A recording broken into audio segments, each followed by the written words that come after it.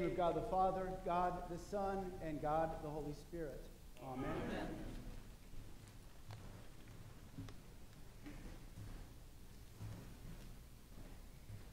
Well, as they say in southern Israel, shalom, y'all. so good to be back, and thank you for your thoughts, your prayers, and your covering. So repeat after me Boker Tov. Good morning. Tov is good. Boker, good morning. Uh, Leila Tov, good night. Mazel Tov, good life, right? Repeat after me. Todah. Todah. Thank you. Todah, Todah, Todah. For all, again, the prayers were palpably felt. The weather was phenomenal. It was everything and exceeded all expectations. As we, again, were with 28 different pastors from all different denominations Methodist, Baptist, Presbyterian, Lutheran, Pentecostal, three Episcopalians. Um, it was wonderful, and we all got along famously. Go figure. One bread, one body. It was wonderful. Up front, I will tell you that I will apologize. You will get tired of hearing me say when I was in Israel, so get used to it. But above all, the palpable presence of the Spirit in so many places. If you've been watching the news, in fact, we mentioned this a couple weeks ago, we're seeing an outpouring of revival taking place in different colleges and in chapels and in different churches prayers and singing going on for weeks, literally at a time. And while we are in so many of the locations in Israel, you would have people from Moravia, people from the Philippines, people from Russia, all over. All of a sudden, we would break out in song, break out in prayer. It really was something to see that we could get beyond our differences and be brothers and sisters in faith together. What an image of hope. But as we see in our gospel today, we see that sometimes a movement of the Spirit isn't always easy to detect, let alone to be a part of, especially when it challenges our long held assumptions, our facade of identity, or plainly our capacity for humility to say, I don't know, I don't understand. Today we are met with Nicodemus in John chapter 3, one of the places in the Bible that we all need to know. And so if you have a Bible with you or one of your apps, pull it out because we're going to kind of go line by line through John chapter 3. Now there was a man, a Pharisee named Nicodemus, a member of the Jewish ruling council. Nicodemus was held in high regard. He would have been seen as a Jewish senator a representative, somebody of high status, definitely a member of the board, and on the in crowd. John chapter 3, starting at the beginning. This is great. In fact, as Episcopalians, you know, it's okay to bring your Bibles into church, by the way. We're allowed to do this because the proclamation of the word should be a proclamation of the gospel, but also an equipping so that we learn from God's word. This is, by the way, if you don't know, this is my preaching Bible. I've had this for 23 years. Notes, highlights, all kinds of stuff written in, and it's, uh, it helps me to go back and go, what was I thinking three years ago? Or, wow, I forgot about how this moves. So, there was a man named Nicodemus, a man of high regard, a man of stature, a man of position, a member of the council who comes to Jesus at night.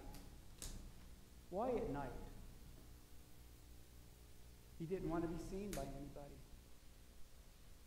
He wasn't that convicted that Jesus was who he said he was enough to risk his position, risk his reputation. But listen to what he says Rabbi, we know, so there were other people that were going along with them, they were part of this group. We know you are a teacher who has come from God, for no one could perform the miraculous signs that you do. You are doing if you were not a part of Him. So even though Nicodemus doesn't get it yet, he's struggling. He's seeking at least enough to come and seek Jesus out even at night. Have you ever struggled with the faith?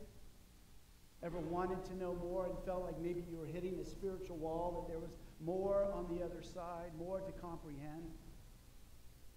Nicodemus wants to know, but he's not sure enough to risk his position yet. He might be embarrassed. He's not confident enough in where he stands to be able to defend the fact that he went and met with Jesus. Or he was afraid of the change that might occur in his life when he lets himself go and be led by the Holy Spirit. Ever been afraid of that which you do not know? That which is around the corner that you may not understand? That which God may be drawing you to, and you resist because it's uncomfortable? Nicodemus was in that place. You'll also see as we work through the Gospel of John that John loves to present things in duality.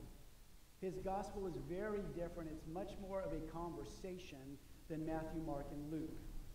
John uses light and dark, bread and wine, body and blood. He uses this duality as part of the poetic presence. And so the fact that Nicodemus comes at night in the dark, where light represents truth, light represents God, darkness represents deception, and darkness represents temptation and evil. So Nicodemus comes to him at night and says again, with earnestness and I think sincerity, I'm seeing what you're doing. It's touching my heart in a way that I can't understand. And so I'm coming to you to, to help me to help me see this in a deeper fashion. Jesus replies, I tell you the truth, no one can see the kingdom of God unless he is born again. Well, this triggers Nicodemus, and he goes right to his logic.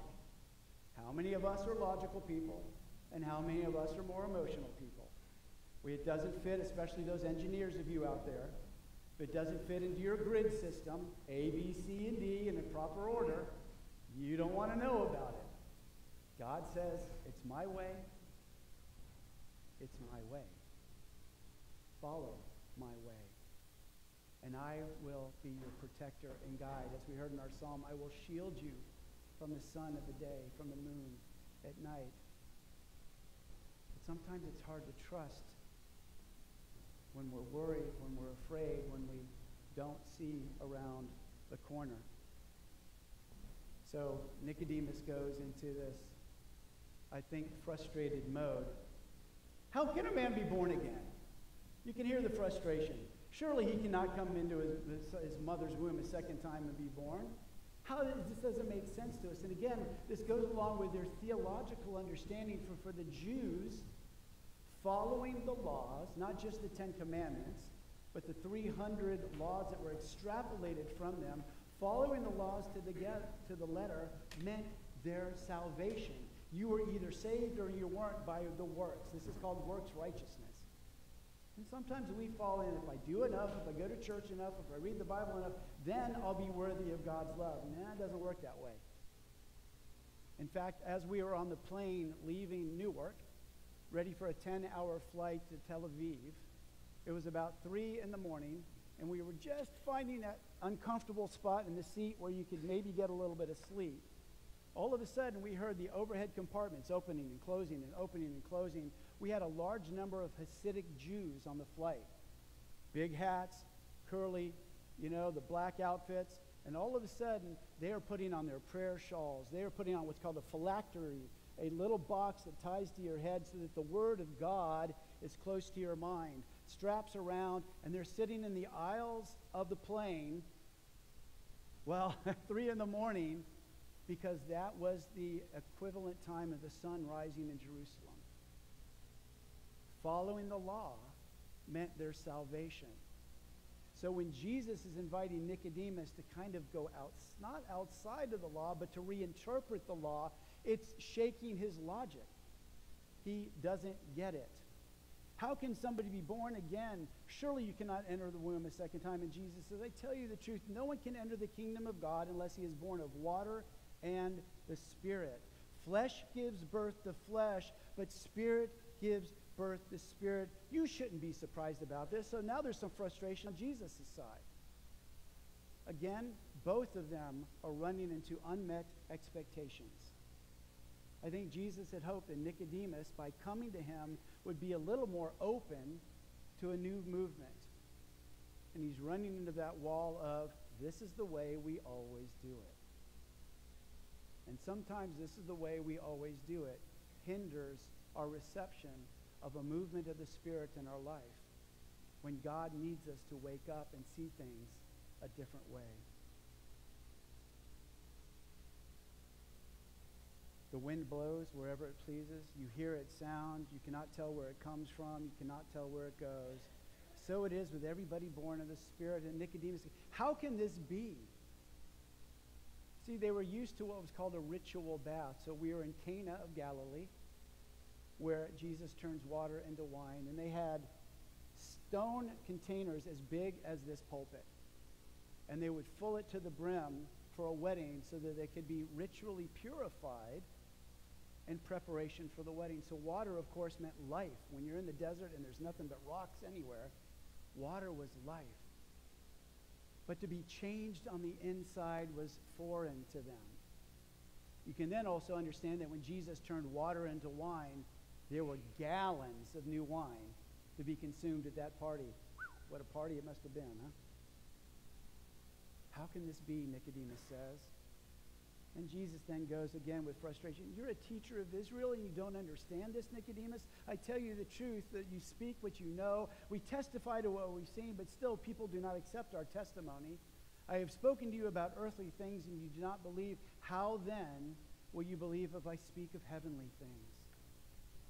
No one has ever gone to heaven except those who come from heaven, and the Son of Man will ascend. So Jesus is giving a prophetic uh, pointer to the fact that someday he will ascend to heaven in his bodily form. And then he talks about as Moses lifted up the snake in the desert. Basically, it was to have faith in what God did over what we see logically and practically in our life. It can be so challenging for us. We are people of the flesh. We like to touch and know and smell and see and understand. But very often, God brings us to a place where we have to trust in Him and have faith that if we step out of the boat, we're going to walk on water when it makes absolutely no sense to us in the flesh.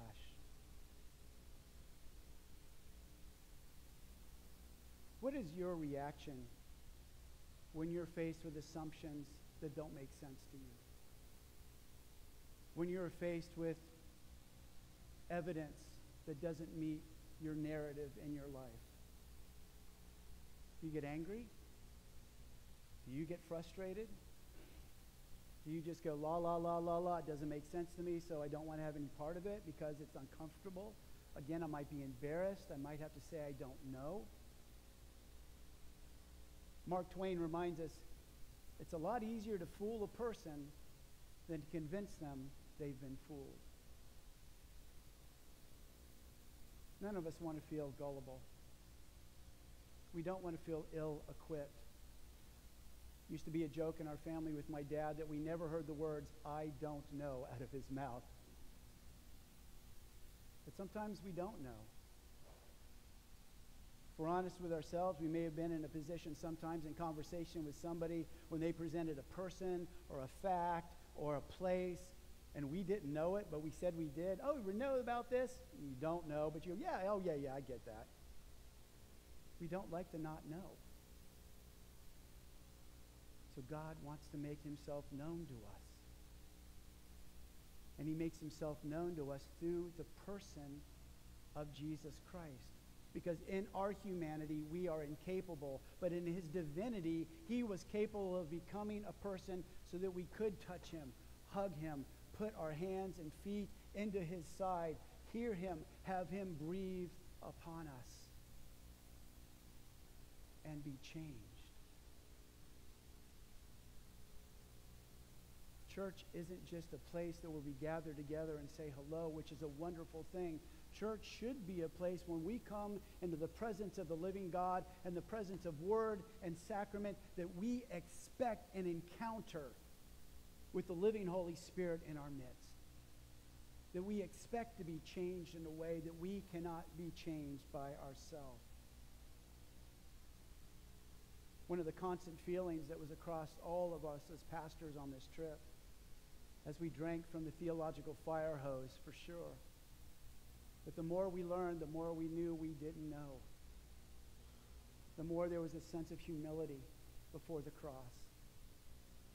The more there was a sense of, Lord, open my mind to your scripture like you breathed upon the disciples so that we could return home to our communities and be more equipped, more effective in sharing what God is doing so that you would know that you know that you know that God is present. He is not some old book from 2,000 years ago. He is alive and in our midst right here, right now, through the power of His Spirit.